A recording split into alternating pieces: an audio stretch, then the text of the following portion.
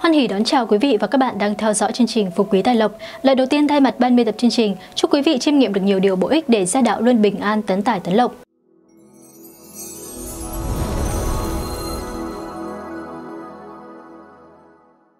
Hoan hỉ đón chào quý vị khán thính giả đang theo dõi Phú Quý Tài Lộc.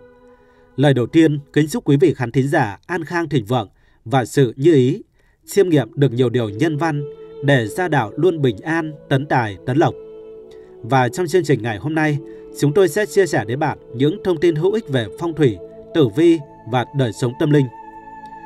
Quý vị thân mến, theo phong thủy học, các gia đình cần xây dựng những không gian sống thoáng đáng, thu hút nhiều nguồn năng lượng tích cực vào nhà, đặc biệt là ánh sáng tự nhiên nhằm mang đến vượng khí. Điều này không chỉ giúp thu hút tài lộc vào gia đình, mang lại may mắn cho gia chủ, mà còn góp phần cải thiện sức sống cho mọi người.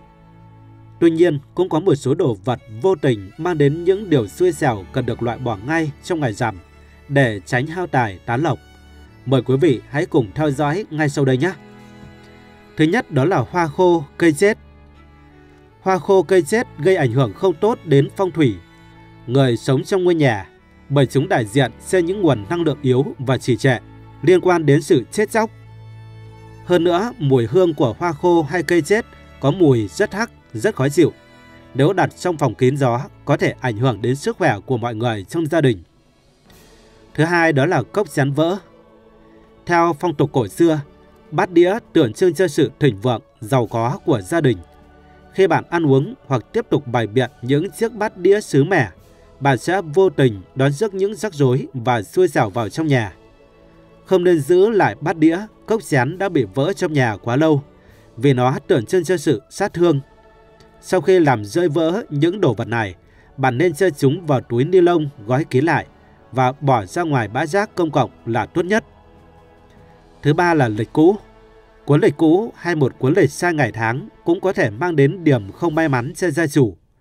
Vì theo quan điểm phong thủy, lịch là biểu tượng của sự trôi chảy, luân chuyển liên tục nếu giữ lại cuốn lịch cũ, biểu tượng cho sự trì trệ, thụt lùi, những điều may mắn không thể đến với bạn.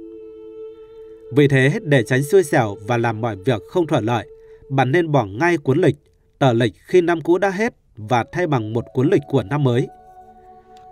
Thứ tư đó là đồng hồ chết.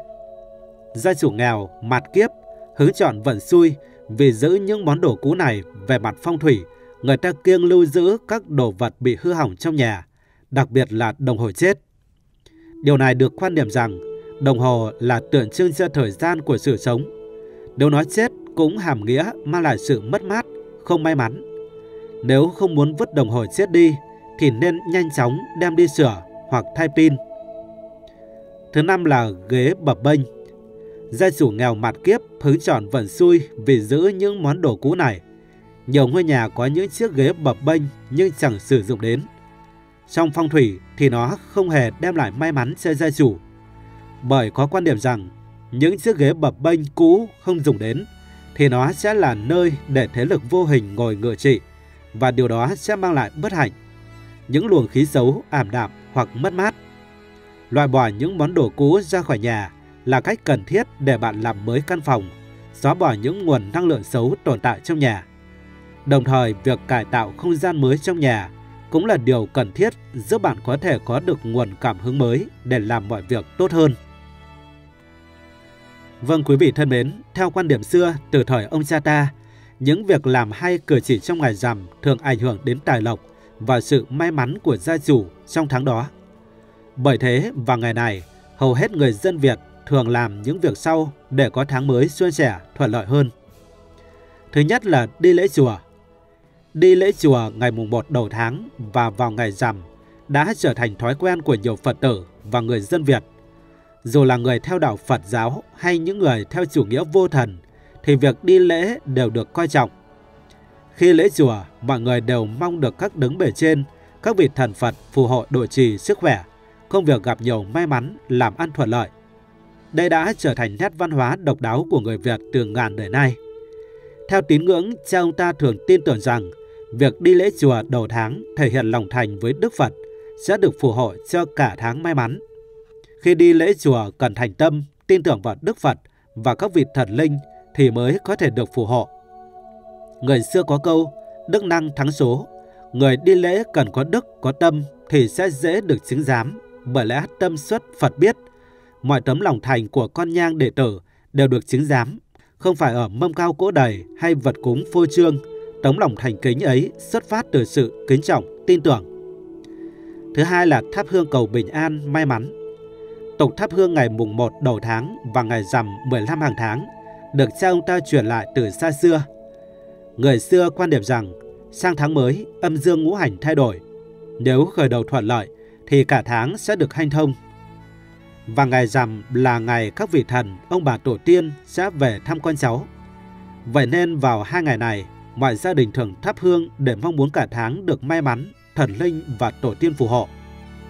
Điều này đồng thời thể hiện lòng thành kính, nhớ ơn đến các bậc bề trên đã luôn dõi theo, phù trợ giúp cho mọi thành viên trong gia đình bình an, mạnh khỏe, mọi việc hanh thông. Khi thắp hương, gia đình cần chuẩn bị hoa tươi, một đĩa hoa quả hoặc bánh kẹo để dâng lên gia tiên cùng các vị thần. Lưu ý là các lễ vật khi dâng lên cần được bài biện sạch sẽ, gọn gàng và theo số lẻ, phủ dương. Nếu gia đình có thời gian, điều kiện kinh tế thì có thể chuẩn bị một mâm lễ cúng chay hoặc mặn đơn giản để tỏ lòng thành kính. Tuy nhiên, không cần quá cầu kỳ, sang trọng. Cái quan trọng nhất là lòng thành tâm của gia chủ. Thứ ba là ăn những món ăn mang lại may mắn. Vẫn theo quan điểm dân gian truyền rằng, nếu muốn một tháng mới may mắn thì gia chủ nên ăn những món có màu đỏ như xôi gấc, thay long, dưa hấu, đu đủ. Có thể nói, xôi gấc là sự lựa chọn hoàn hảo để dâng cúng và ăn vào ngày rằm. Tại sao lại ăn xôi gấc và trái cây có màu đỏ? Bởi màu đỏ tượng trưng cho sự may mắn, nhiệt huyết, thanh thông. Có màu đỏ xuất hiện trong gia đình vào hai ngày này thì cả tháng dễ được đỏ và may mắn. Ngoài ra, quý bách gia có thể ăn gà luộc vào ngày này để lấy may. Gà luộc dường như đã trở thành món ăn không thể thiếu trong những mâm lễ cúng của người Việt. Sự óng vàng của gà luộc tượng trưng cho sự giàu có và phú quý. Ở miền Nam, theo tín ngưỡng, nhiều gia đình sẽ chuẩn bị thêm món canh mướp đắng nhồi thịt. Mướp đắng khi ăn có vị đắng đầu lưỡi, sau đó sẽ đến vị ngọt. Ăn món này, người dân mong muốn rằng cái khổ sẽ qua đi để thu hái về cái ngọt lành, may mắn trong những ngày tiếp theo. Người miền Nam không chỉ ăn món này trong ngày đầu tháng và rằm, mà còn được dùng trong mâm cỗ cúng đầu năm mới. Thứ tư là mang theo vật phẩm phong thủy. Vật phẩm phong thủy được coi như bùa hộ thân của nhiều người. Mang theo vật phẩm phong thủy hàng ngày sẽ mang đến những nguồn năng lượng tốt, cân bằng đầy đủ yếu tố ngũ hành âm dương, khiến gia chủ yên tâm hơn. Từ đó sẽ có trạng thái tốt để đạt được thành công, giải quyết mọi vấn đề một cách thông tuệ nhất. Vật phẩm phong thủy gia chủ có thể lựa chọn như vòng tay phong thủy, móc khóa, nhẫn và các vật phẩm khác. Thân vượng kim thì bạn cần chọn vật thuộc hành hỏa hoặc thủy, bởi hỏa khắc kim, còn kim thì sinh thủy. Như vậy, bạn có thể chọn đồ thuộc màu đỏ hoặc xanh dương. Ví dụ nhẫn thạch anh đỏ, mã não hồng, nhẫn đá. Thân vượng mộc thì đồ lại thuộc mệnh kim hoặc hỏa. Như vậy, bạn có thể dùng trang sức hay phụ kiện có màu trắng hoặc đỏ, hồng. Ví dụ vòng cổ thạch anh trắng, hồng, đỏ, nhẫn mắt mèo trắng, vòng tay ưu linh trắng, lắc xà cửa trắng. Thân vượng thủy thì bạn có thể chọn đồ thuộc hành hỏa hoặc mộc. Vậy đồ mang cần có màu đỏ, hồng hoặc xanh lá cây. Ví dụ vòng tay thạch anh đỏ, bông tai mắt hổ xanh đậm. Thân vượng hỏa thì cần đồ thuộc hành thủy hoặc thổ.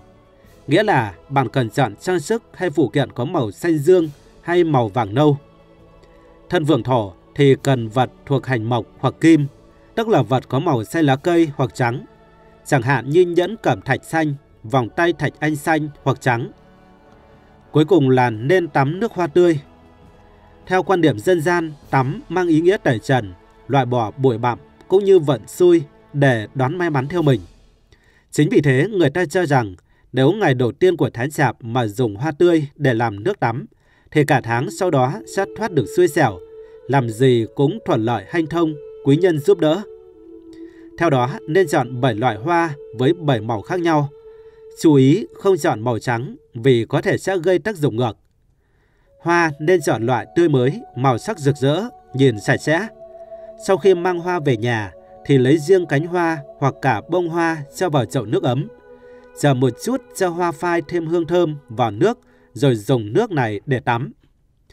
Trên đây là những lưu ý quan trọng về phong thủy trong ngày rằm giúp gia chủ có được cuộc sống mạnh khỏe, hạnh phúc và may mắn hơn trong tháng mới. Cảm ơn quý vị và các bạn đã dành thời gian theo dõi chương trình ngày hôm nay. Quý vị đừng quên ấn like, đăng ký kênh Phú Quý Đại Lộc để không bỏ lỡ những video hay nhất từ chúng tôi nhé. Còn bây giờ, xin chào và hẹn gặp lại trong những chương trình tiếp theo.